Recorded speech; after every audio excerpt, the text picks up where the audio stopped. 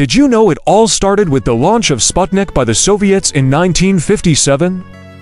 What drove America to embark on the incredible journey to the moon? How did they achieve this remarkable feat? Wondering about these questions? Stick around because What Globemind will provide you with all the answers. The space race begins. In 1957, the world witnessed a historic event when the Soviets launched Sputnik, the first artificial satellite, into space. It was a tiny metal sphere, but it marked the beginning of a race that would change the course of history. But how did America react to this challenge from the Soviet Union? Well, let's find out. In response to Sputnik, NASA, the National Aeronautics and Space Administration, was established in 1958. This marked the birth of a new era in space exploration as NASA set its sights on the stars. The race was on, and the ultimate goal, to reach the moon. But how did they plan to achieve this remarkable feat, wondering about these questions? The Mercury and Gemini programs. After the establishment of NASA, they wasted no time. In 1961, NASA launched the Mercury program. This program sent the first American, Alan Shepard, into space. But that was just the beginning.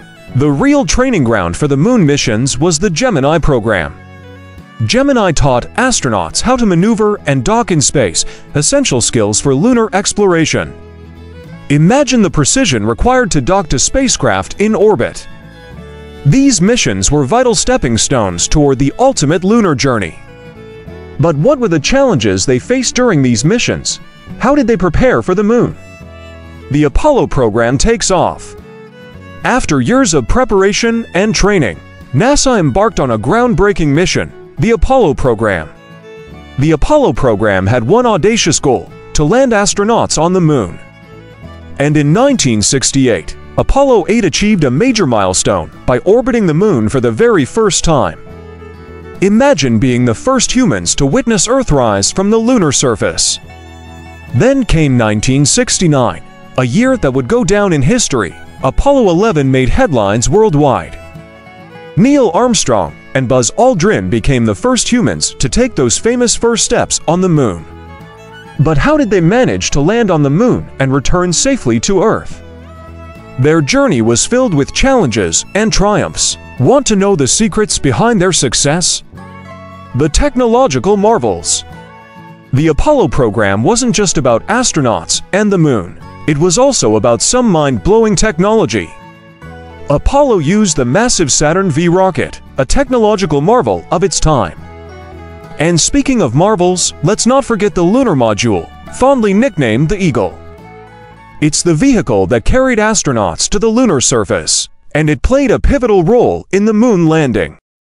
While two astronauts descended to the moon's surface, the command module orbited the moon, patiently waiting. But here's the real genius, the Apollo guidance computer, with less power than a modern calculator, was crucial for navigation. Can you believe they trusted this compact computer to guide them safely through space? Want to know more about these technological wonders and how they made the moon landing possible? The Apollo missions were nothing short of historic. They continued until 1972, and in total, 12 astronauts had the incredible privilege of walking on the moon.